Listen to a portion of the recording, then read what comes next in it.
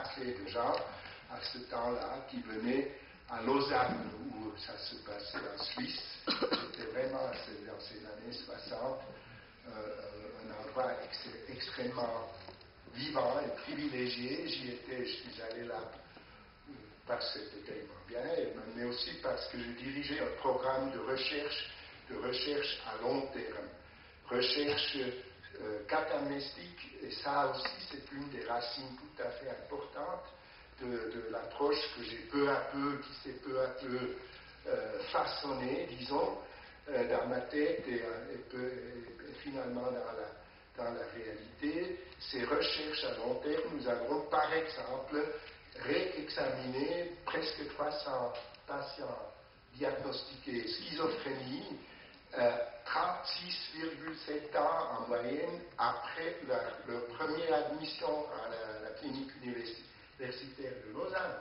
C'était l'expérience de ma vie, je dirais en quelque sorte, qui m'a plus jamais euh, quitté comme, euh, comme je sais pas, comme impact parce qu'on a trouvé tout à fait autre chose que ce qu'on croyait trouver. On a trouvé qu'il y avait quand même un nombre, évidemment un certain nombre de patients gravement chronifiés après 36 ans en moyenne euh, de l'observation catamnestique. À peu près 25 à 30% étaient chronifiés. À peu près un, taux égal euh, était stationnaire avec des états résiduels, il y avait en tout cas un bon quart qui était amélioré clairement par rapport au début. Il y avait un bon quart qui était guéri. Guéri. Je sais ce que je dis. C'est une, chose euh, assez, assez énorme. Mais c'était des patients, évidemment, après beaucoup de, après des décennies, guéris. Et pourquoi ils étaient guéris? Il n'y avait pas de prédiction possible statistiques qu'il n'y avait pas parce qu'ils avaient eu un début lent, ou parce qu'ils avaient, c'était des hommes plutôt que des femmes, ou parce que la, la, psychose a commencé tôt. Tous ces, ces, indicateurs statistiques euh, courants qu'on cite sont à court terme, pas à long terme. À long terme, c'est la vie qui fait que les choses changent.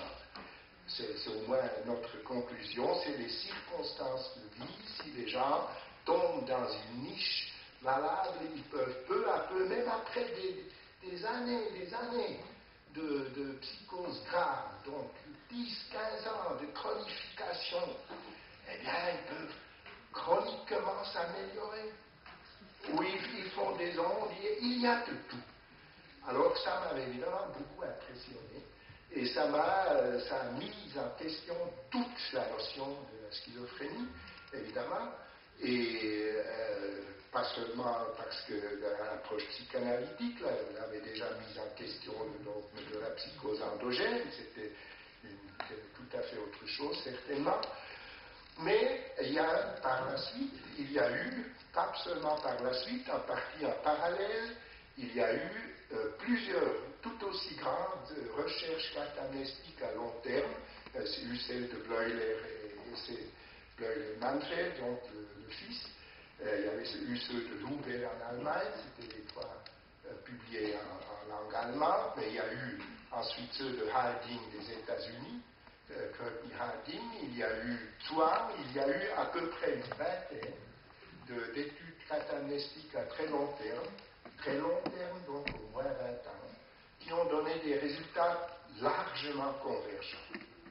Alors, euh, ça change déjà pas mal de choses, ça a changé pas mal de choses dans ma propre tête, forcément.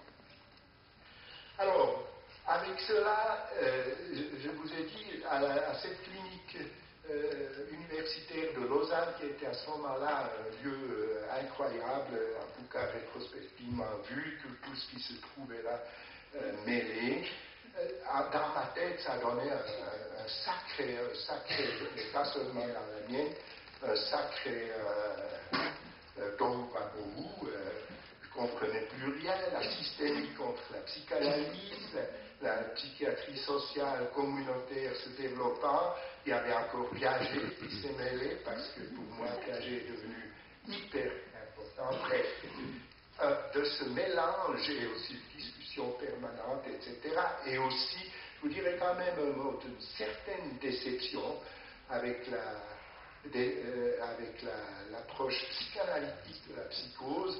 Moi, j'ai concocté ma propre, mon propre jus, si vous voulez. J'ai appelé ça ensuite logique affective. C'est une, toute une théorie euh, qui essaye, c'est pas, pas vraiment nouveau, c'est plutôt essayer, essayer de prendre de la, des neuropsychiatries, de la psychanalyse, de la systémique, etc., tout ce qui pouvait être cliniquement utile et de réformuler cette logique affective.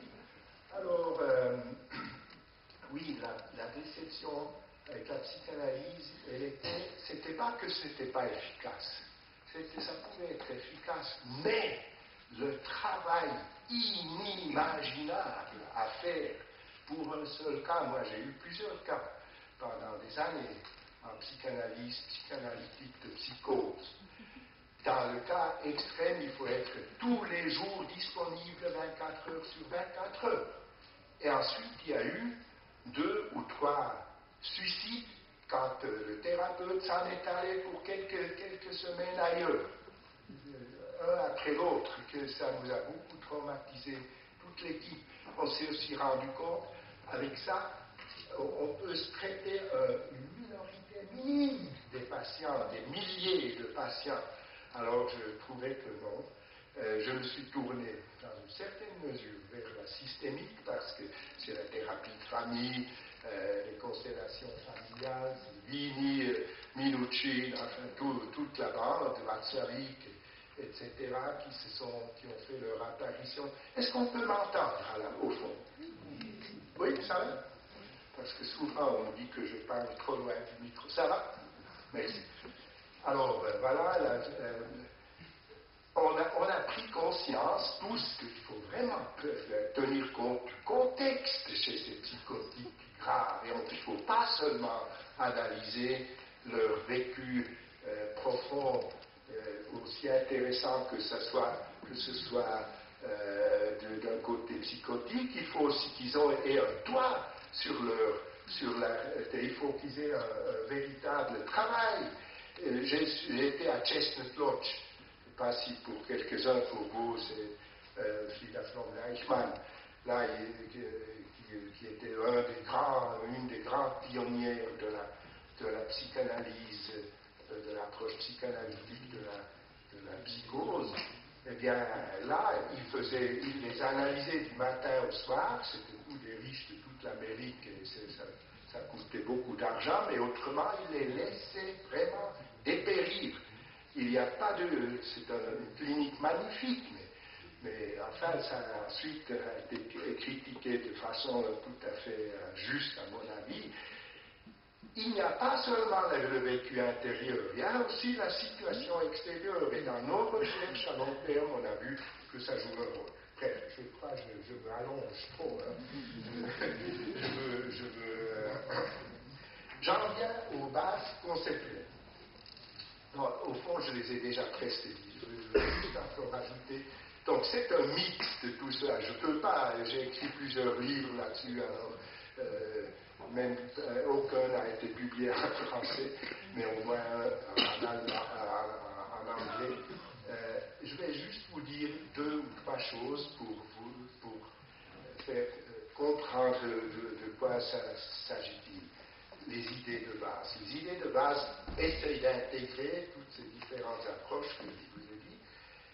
Euh, et ça se focalise sur l'interaction entre cognition et émotion, ou, pensée et sentiment, si vous voulez. Euh, ça tourne tout là autour. C'est pour ça aussi ce nom bizarre, surtout en français, euh, logique affective. En allemand, c'est mieux. Affect logique, c'est mieux que de toute façon, c'est ça, euh, c'est ça sur, quoi je me suis focalisé de différents points de vue, de la neurobiologie à l'approche évolutionnaire, psychanalytique, etc., pour essayer de comprendre non seulement comment la pensée euh, agit sur euh, les sentiments, ça c'est banal, si vous voulez, c'est quelque chose de triste, je, vis quelque chose de triste et je suis triste. Concret, comment là, les, les, états émotifs, les affects, l'affectivité forment et déforment notre pensée. C'est ça qui est beaucoup plus intéressant.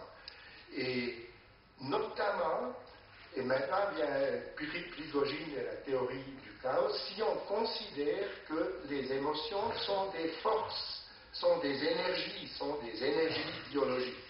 Je ne sais pas s'il y a quelqu'un ici qui, qui s'est occupé de la théorie du chaos, le nom est faux, il ne s'agit pas de la théorie du chaos, il s'agit de la théorie de, la dynamique linéaire et non linéaire, surtout des, systèmes complexes, mais ça c'est compliqué à dire. Euh, de toute façon, toute cette théorie que j'ai étudiée chez Prigogine ici, c'est une théorie énergétique. C'est basé sur les flux d'énergie dans des systèmes complexes. Si vous chargez n'importe quel système ouvert, complexe, avec de plus en plus d'énergie, eh bien, tout à coup, il saute. Il saute d'un état, d'une structure à une autre. Il n'y a pas beaucoup d'exemples en chimie, en physique. il y en a, euh, Prigogine, quand j'étais là, il, y avait un groupe de, recherche qui, étudiait l'urbanisme, comme euh, les inputs de démographie. Tout à coup, il y a des hautes maisons qui, en quelque sorte sautent. tout à coup, il y, a, un centre qui se forme avec ah. une grande skyline. Si vous pompez encore plus d'énergie dedans, vous avez tout un des satellites qui poussent. C'était un des groupes de recherche qui m'avait impressionné. Eh bien, moi, je me suis dit, si on, pense que le système psychique, c'est un système fait de cognition et d'émotion, l'émotion, la cognition, c'est la structure, la pensée, et l'émotion, c'est la force, c'est l'énergie, eh bien, ces, ces lois jouent aussi. Pomper dans un système psychosocial, que ce soit individuel, un groupe, une famille ou